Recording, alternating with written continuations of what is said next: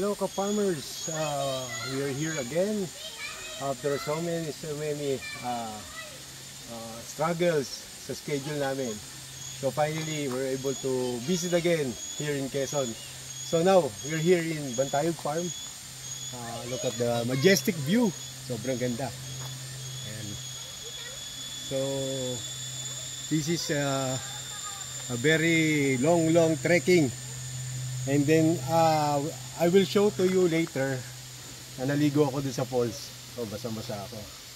So, sobrang lamig, very refreshing. Lalo ngayon, napakainit ng panahon. So, come with us. Uh, enjoy your your time with us. Uh, please do, do subscribe and follow my YouTube channel, Magsasakang Medrev. Thank you. So guys, this is uh, more than 500 steps from the entrance. So pagdating sa baba,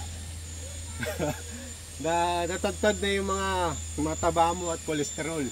Uh, this is a good uh, time to, to exercise. Uh, look at me. Ayan, we need to be to be fit. Uh, Siyempre maraming masakit na dumadapo sa atin. Kaya uh, lagi tayo yung um, exercise and siyempre ready tayo to be in good shape.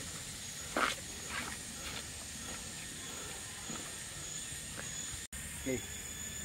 So guys, first of all, I would like to thank uh, my followers, sa mga new subscribers, at sa mga patuloy na tumatangkilik sa YouTube channel ko. So, hoping soon na dumami mga subscriber and ma-inspire ko yung mga gusto mag-farming.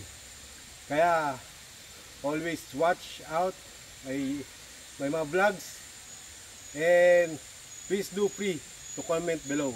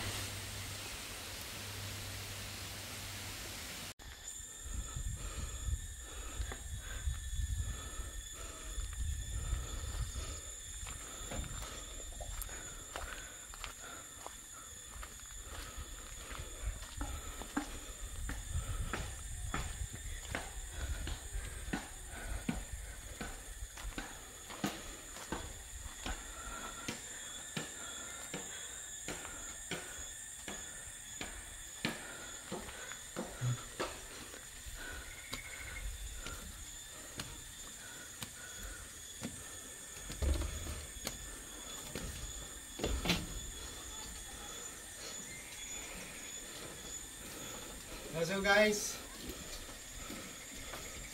so guys, this is the view deck of Bantayog Farm. So, enjoy the view. Nakita mo ang the mountains of uh, Sierra Madre. Oh. Actually kanina hindi ako nakapagpigil sa sarap ng maligo sa sa falls sobrang uh, refreshing eh, sa, sa init ngayon. Kaya talagang hindi ko talaga na kinaya na tingnan lang yung falls.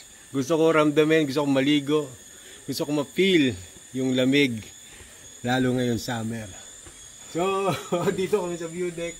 Kami lang dalawa na ni wife ko. So actually napakalamig kahit mainit dahil mataas yung elevation, yung gradient, gradient niya. Medyo napagod kami sa kalakad or more than 500 steps. So tingin mo, yung mga meron tayong mga tourists, mga bata, kinain ng mga bata.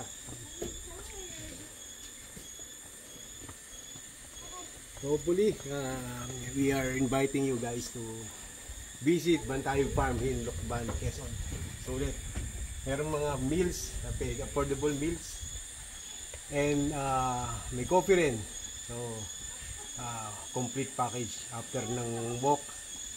Pagbalik mo, chicha uli.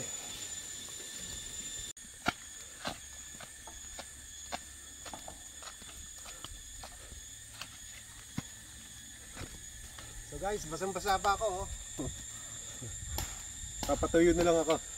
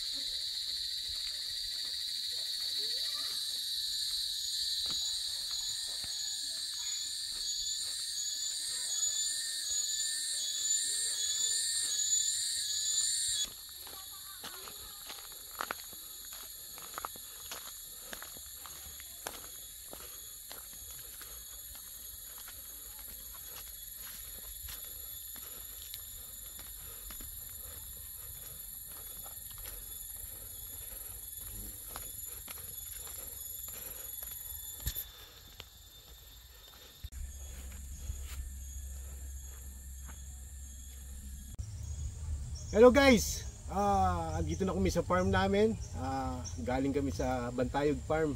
So, it's been a very tiring day. So, I'm about to end this vlog.